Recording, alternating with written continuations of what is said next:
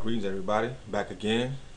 Um, this tutorial is um, this brief Linux intro, it's not really a tutorial, but it's an intro into uh, Ubuntu for those of you who may be curious about using Ubuntu Linux and um, pretty much um, the ins and outs of it.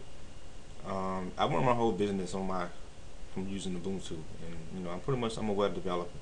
So um, I think in one of my videos I was saying that I needed to find a way to design websites with software that was uh, equivalent to what I can have in Windows. And uh, before I was using something called Dreamweaver. I still use Dreamweaver, but I was looking for something that was a little bit more native because I wanted to go all strictly Linux instead of having to reboot inside my Windows system. So I did a little digging around. I found a program I found three of them actually. And this is one right here. It's called uh, Bluefish Editor. And uh, it's just a basic text editor, but it's it's not it's a little bit it's not like Notepad or whatever, but it you know I I use this text editor for um, PHP because I was doing a lot of PHP coding at the time, and I use it for PHP. And you know you can just put your script and your code in there and test it but it's good for like so many different things. You can use it for HTML CSS JavaScript whatever but I use it for PHP and it's called Bluefish Editor. And it got the job done but I want to you know look around and see what else I can find what else, what else options did I have. So I ended up running across this another program called um, Composer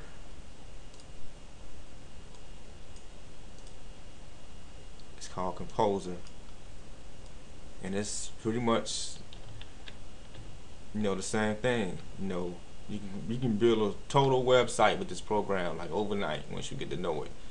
And the good thing about these programs are they are free and they are um they have a community backing them. But um, with Linux if you're gonna be a Linux user you have to you might get used to uh, going and reading up on documentation and, and people have YouTube videos and other stuff out there, but you gotta do like your own research on how some of these programs work, because it don't come with. It's not it's not marketed and packaged and bundled for you know to be a retail product. You know, this is developed by what I was saying, like the uh, the community to uh, make these type of programs. The open source community contributes and, and give put these programs out here for us to use for free. So you just gotta find right documentation to use. You know, I mean to find to uh, to know how to use this. But uh, I found one that was even better though. Like I this, those two were good, but I found one that that I'm that I just love, and I'm always in it. I'm always like I've been able to just do everything I need to do with just this one program right here. It's called Aptana Studio 3, and it's free, of course. Um, you got to know how to install it. And what I use this for I use this with my Ruby on Rails projects uh, HTML and uh, what we can like if I want to make a website real fast I just show you like not to get into all the details but I go to web project my first website. Like it's this saving me so much time. You got a boilerplate. For those of you who design and do websites, you, know that HTML5 is a new standard right now. So uh, a lot of browsers are slow to adapt to it, but uh, this boilerplate, like, it it automatically just see what it's doing. It's just it's it's filling in all the um. Look what it is. See it made all this right here. Like it put in all that boilerplate information that you would use that you that you would usually have to just find and, and type in on your own. But it did it right there in one one um, click of a button, and then it made all these files over here. Like it made an index.html. If you want to code this site to be ready for Apple iTouch phone, it got it has the icons already in there. It already made the, G the JS folder with JavaScript. It has uh, a CSS folder, style.css. I mean, it, it automatically do all this stuff. with just one click of a button. And uh, let's see, let's say if I want to just create a, start to create this web page. Let me do the typical hello world. Hello world.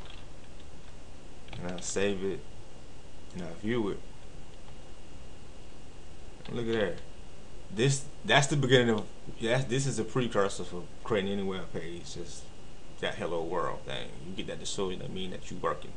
But this tutorial, this video is not to go into web design, and it's just showing you how you know you can run your you can run the business with Linux, and you don't have to really um, pay for all this software. It's just a matter of you sitting there wanting to learn, learning, learning this stuff, because you know uh, there's a community backing it, and a lot of times uh, it's not packaged and sold to you in a way where you know uh, it's not marketed heavily. So you guys gotta be able to go in and find like what what do you want. Like I've been almost able to do everything that I've been able to do in Windows. I have like been able to pretty much do in Linux. So I'll go over some more videos with um some more stuff that you may wanna uh that, that you may can use if you choose to come this way to Linux. And like I say, I still do use Windows and I use it for certain programs that I just you can't that that you can't like get around. Like Photoshop for instance. I may I may make a video on that. But uh thanks for watching this video and I hope that you you know decide to make this this this leap to come be a Linux user